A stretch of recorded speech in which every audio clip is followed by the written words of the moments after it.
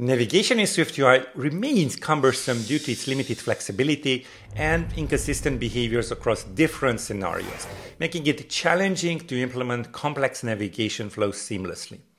This issue is the only item on my wish list for this year's WWDC, as improving navigation would significantly enhance app development, Recognizing these pain points, this video will teach you how to handle the current shortcomings of navigating in SwiftUI with practical strategies and workarounds. It will also walk you through the latest techniques and best practices, ensuring you have all the knowledge needed to effectively manage navigation in your apps. Make sure to check out my SwiftUI summer sale. The link is down in the description. More on this later in the video. Now, WWDC is here and I have only one item on my wish list and that is better navigation. We talked about this in the previous video. Go ahead and check out the link for the whole playlist. But basically, I would like to have better types of better API at least for navigation. And that is what I tried to create uh, last time. Let me just take a look at the code. Right over here, we have the navigation destination, and you may choose to be of type link. Let's just uh, have that dot link sheet or cover. And uh, this is how it looks like. Uh, by the way, I'm just going to remove the padding right over here.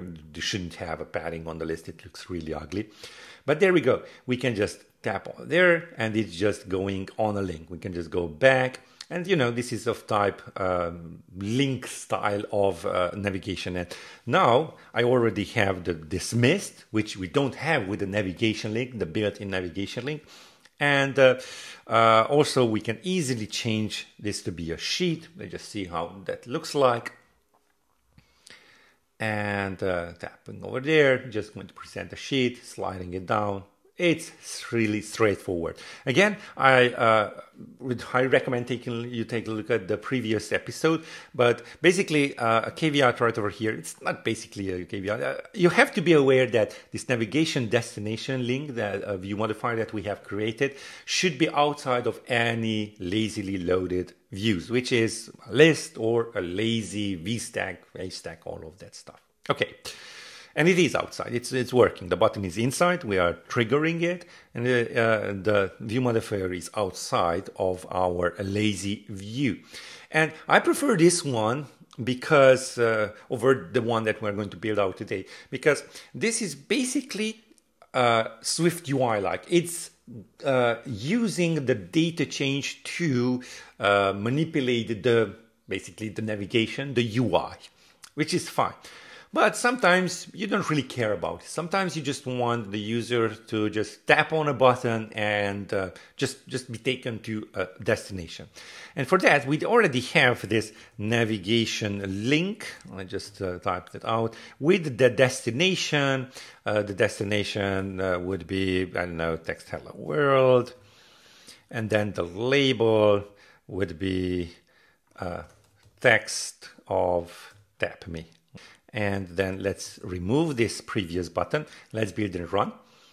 And basically, it will just do the same thing uh, with the navigation destination dot link that we have set up. Of course, this has also uh, a custom uh, UI, which we don't have with the navigation destination that we build out. But hey, you have to live with that if you are inside the list, of course. There we go.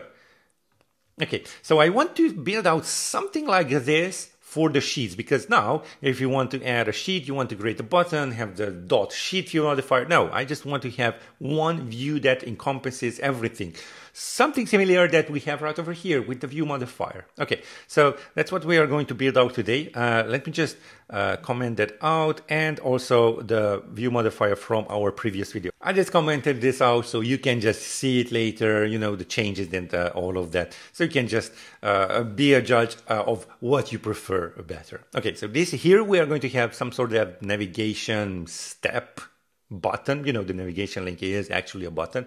So let's just build it up. Hey there, the Swift UI summer sale just dropped and I think you'll love it.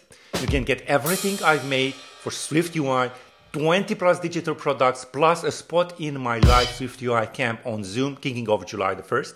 It's all valued at over $3,000, but right now it's just 199. Whether you're just starting out or looking to polish your skills, this is your chance to dive in and build with confidence. Spots are limited, so don't wait too long. The link is in the description. I'm just going to scroll all the way down.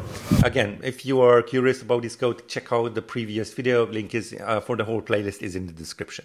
So we are going to create a struct and that will be a view. So let's just call this navigation step and it needs a view like a, sorry uh, it needs a destination of type view and a label of type view so let's just add those two so destination of type view and then label of type view. And this will be or adhering to the view protocol, it has to have a body, text, hello world. Okay, so now we should have a clean, no warnings or errors whatsoever. Okay, in the previous episode, uh, I have set up this navigation step type link sheet or cover. We are going to use this enum right over here.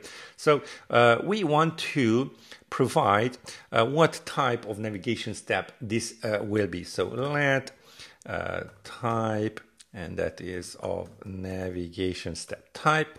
We're also going to add in, you know, our destination. So at view builder var uh, destination. Let's start off with the destination and then hopefully just going to come up with the label. There we go. We also need the label. And then finally the on dismiss. Uh, var on dismiss. Now on dismiss is automatically added to the sheet and full screen cover. I have also added this to the link type of uh, navigation. Go ahead again, check out the previous episode. But uh, just so you know, with that, we also have available on dismiss on the link, you know, this, this navigation stack type of navigation too. Okay, so let's create a custom initializer for this because I just really like to have the type, uh, uh you know, not have that as an outer property, but an inner property, just added an underscore over here. Let's just see all of the others. Destination, uh, we have to have this as destination and not view. I know Xcode is just going to add in here view, but we just uh, we can just simply change that. Label on this dismiss. Okay, that's fine. And yeah, we do have our custom initializer. Now, finally, we uh, want to basically uh, have a button because navigation link is under the hood, a button, a custom button, but that is what we are going to have. So let's just have a button. I prefer the action and label, but uh, you know, you may choose others if you just don't want the label to be a, a view, just a string. I like this one uh, better. Okay, so we are going to have the label over here. That's fine. That's that's okay. And then we want to trigger something. You know, we want to trigger the destination to be presented upon the tap of our button. Therefore, we do need a custom, you know, a, a, private state variable right over here. And, you know, it's just uh, suggesting it to me, it's really nice. So is presented. We are going to uh, toggle is presented right over here on the tap of the button. Nice. Next up, we want to add, let's just start off with the link. So dot link and then is presented on this and content. Again, take a look at the previous episode on this uh, uh, playlist to see that we can now bind is presented right over here. On dismiss, we just passed it along, and then the content is our destination uh, with a small d over there.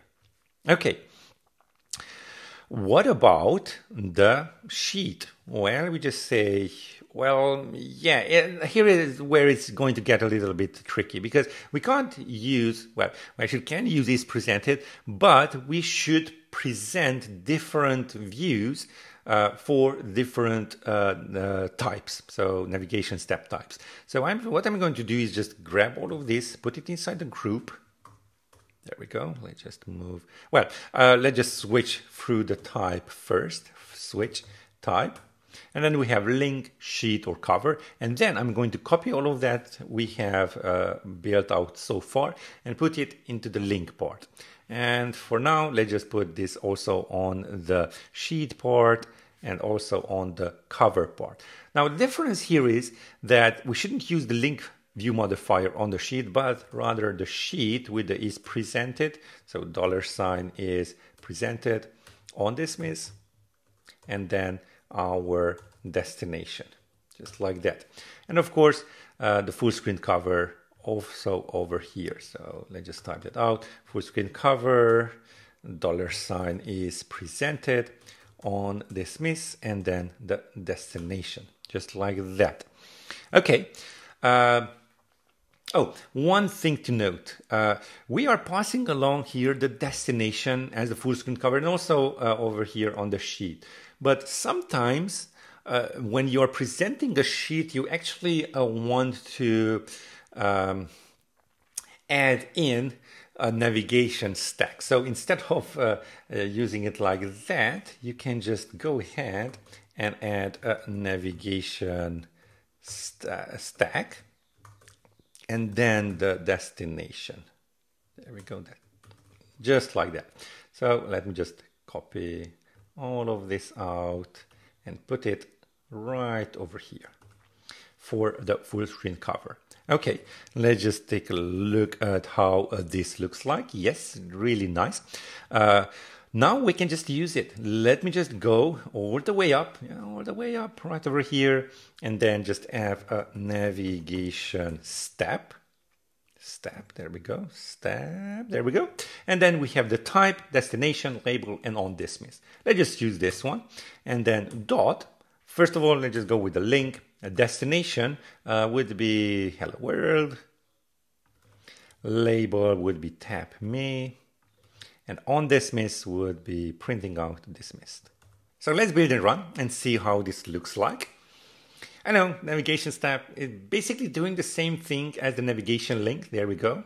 It's doing the same thing, but it has this dismissed printed out on the on dismiss, which is really, really nice. Now let's just change easily to this be a sheet.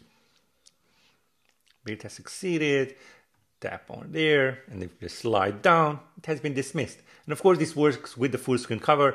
And also on the full screen cover, of course, you can't slide down and you want to implement the dismissed environment. It's just going to work. And also it's going to trigger this on dismiss. Now, one final note, uh, if you take a look at uh, my previous um, uh, uh, video, you're going to see that we have something called dot navigation destination.